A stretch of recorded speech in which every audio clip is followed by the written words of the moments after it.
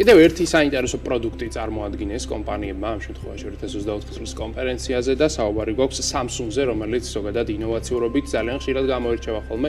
მათ ახალი ხაზი შექმნეს, ასე ვთქვათ, აქსესუარების მიმართულებით და ეს არის ბეჭედი. ჭკვიანი ბეჭედი, რომელსაც ქვია Galaxy Ring, ამ შემთხვევაში ბევრი არ უფიქრიათ, აიღეს Galaxy და აიღეს Ring-ი უბრალოდ შეერთეს და მიიღეს ეს სახელი. Galaxy Ring-ის დანიშნულება არის მომხმარებლის შესახებ მონაცემების დაგროვება.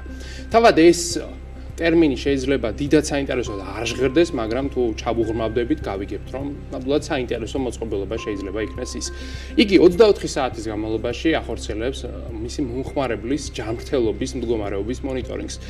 აკვირდება როგორც წნევას, ასევე გულისცემას, ტემპერატურას, ძილის ხარისხს, ხომ არ უჭირს მას რაიმე, როგორ გადაადგილდება ის, რამდენად ფიზიკურად აქტიურია, რამდენად დაღლილია სხვა ნებისმიერი სახის მონაცემი, რაც შეიძლება ადამიანმა ასე ვთქვათ, ფიზიკური ფორმულირებით გამოავლინოს, ბეჭედი ამ ყველაფერს იწერს, ინახავს და შემდეგ, რა თქმა უნდა, Bluetooth-ის მეშვეობით აგზავნის smartphone-ში, სადაც აპლიკაცია Galaxy Health არსებობს ესეთი აპლიკაცია, იგი ამუშავებს ამ მონაცემებს და შესაბამისად უკვე ფორმულირებული სახი წარმოუდგენს მას მოხმარებელს. ხო, როგორც პრეზენტაციაზე გახდა ცნობილი, ერთ-ერთი მთავარი სიახლე და ერთ-ერთი მთავარი ხიბლი ამ პროდუქტის არის ეკოსისტემურობა. ანუ ბეჭედი იდეალურ სინქრონში იქნება Galaxy Watch-თან და Samsung-ის მობილურ ტელეფონებთან შედარებით, რაც გასაგებია, რადგან Samsung-ის მთავარი კონკურენტის Apple-ის ერთ-ერთი მთავარი ხიბლი სწორედ ეს არის მისი ეკოსისტემურობა და ის სიმარტივე, რომლითაც ადამიანს შეუძლია საათიდან ტელეფონში და ტელეფონიდან ლეპტოპში გადავიდეს.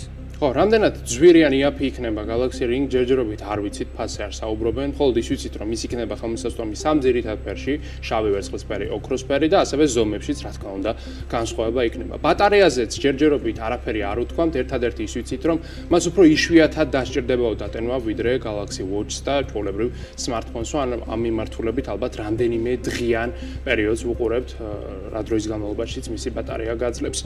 საინტერესოა როგორ განვითარდება ეს პროდუქტი, რა ბედიელის ხმას და შესაძლოა ეს ახალი ტენდენციის დასაწყისიც კი იქნეს, რომელსაც შემდეგ ალბათ Apple და სხვა ტექნოლოგიური გიგანტებიც შეუერთდებიან.